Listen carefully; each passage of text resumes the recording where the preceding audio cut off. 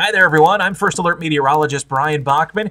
Want to look ahead to something that uh, we're going to be seeing happening in the skies this coming weekend. Saturday, October 14th, to be specific. You may have been hearing this making the rounds on social media and the internet already, but anticipation building ahead of a ring of fire solar eclipse that's going to be happening not fully visible for us here in the Carolinas, but we're not going to walk away empty handed either. But I want to talk to you a little bit about the different types of solar eclipses there are, breaking down what the differences are, and exactly what's going to be happening when we look ahead to next weekend. So, starting with a total solar eclipse, this one fairly straightforward. We look up toward the sky and any solar eclipse occurs when the moon is at just the right positioning in its orbit around Earth that it briefly passes in front of the sun and it casts its shadow onto a portion of Earth. Now, in the case of a total solar eclipse, Again, straightforward. The moon, as it's cutting in front of the sun, blocks the sun out entirely,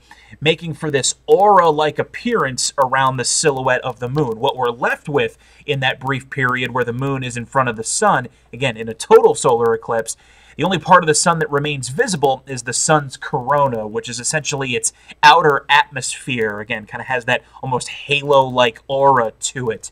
Uh, day also briefly turns to night for any observers on the ground who managed to get into the path of totality of a solar eclipse. We, of course, saw one here in South Carolina back in 2017 that probably uh, is. Uh, uh, sticking in a lot of folks' minds thinking about this kind of thing. The difference in the solar eclipse that's coming up on October 14th, this coming weekend.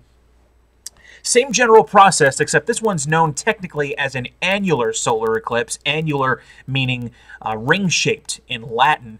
And uh, what this creates is same basic process. Moon cuts in front of the sun again for a brief period in its orbit around the Earth. But this time around, the moon is a little farther away from Earth when it does so. The moon's orbit around the Earth isn't a perfect circle, so there are periods where the moon is farther away from Earth, periods where it's closer. It's why we have things like supermoons throughout the year, but that's a different story.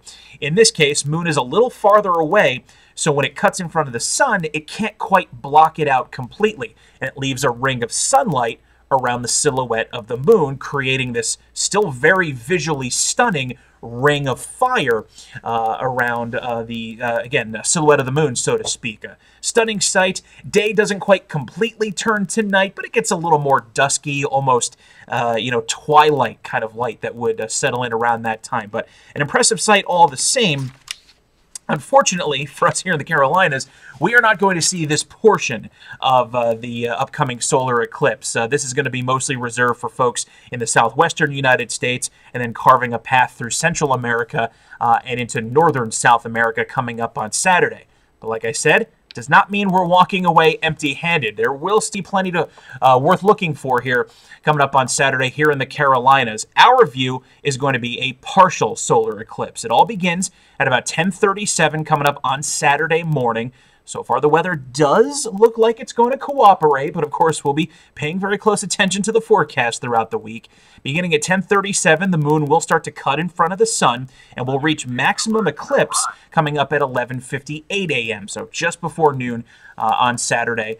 We'll see a maximum eclipse of about 56%, so you can kind of see it roughed out there. Still significant. The sun will look somewhat crescent-shaped uh, as this happens for us here. You'll notice a bit of a dimming of the overall kind of quality of the sunlight. It lo might look a little more akin to a mostly cloudy day, even though the sky may very well be clear.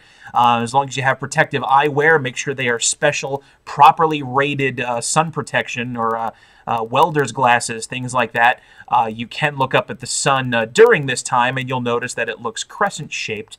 And then moving on from there, shortly after noon, the moon will begin to move away from the sun. It'll take about another hour and a half and then the eclipse will fully wind up coming to an end uh, around 122 on Saturday. So even though we're missing out on the Ring of Fire portion of this solar eclipse. Uh, still very much worth taking a look for coming up on Saturday, and we will definitely keep you updated on the forecast throughout the week.